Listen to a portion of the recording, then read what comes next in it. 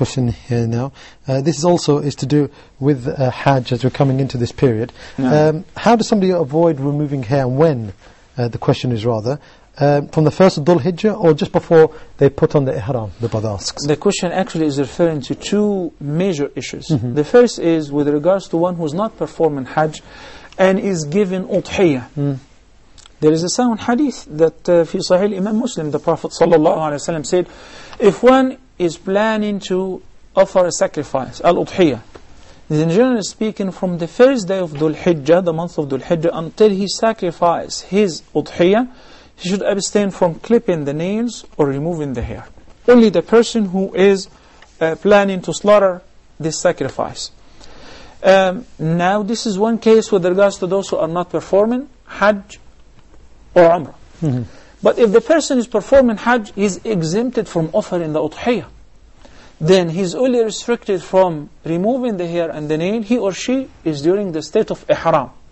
So if he or she have intended to do Hajj tamattu' and they offer the Umrah in a couple of hours, once they finish the Umrah, they go to shave or trim their hair, and now, they enjoy staying in a state of tahallul until the eighth day of the month of Dhul Hijjah to assume a new intention of performing Hajj.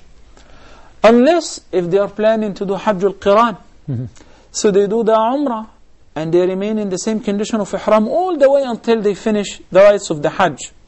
Okay? While the Prophet ﷺ recommended Hajj al-Tamattu actually, uh, even though the scholars differ with regards to the superiority of which type. But whichever Hajj you choose, you choose on based on what suits your itinerary. So if you're going, for instance, 10 days before Hajj, why do Hajj al-Qiran? Why keep in a state of ihram worried about removing the hair or the nail or wearing uh, stitched clothes or showering with scented soap? You just do Hajj al-Tamattu and that's best for you. You do the Umrah, you exit from Tahallul by shaving or trimming, then you enjoy the nine days, eight days, uh, staying in Tahallul, do the Tawaf, uh, recite Quran, pray in the Haram, or even go to Al-Madinah, then return back and on the eighth day make a new intention of performing Hajj. That's known as Hajj at-Tamattu. Now, the trick is, what if you're planning, besides doing Hajj and offering the Hajj, also to slaughter a sacrifice back home?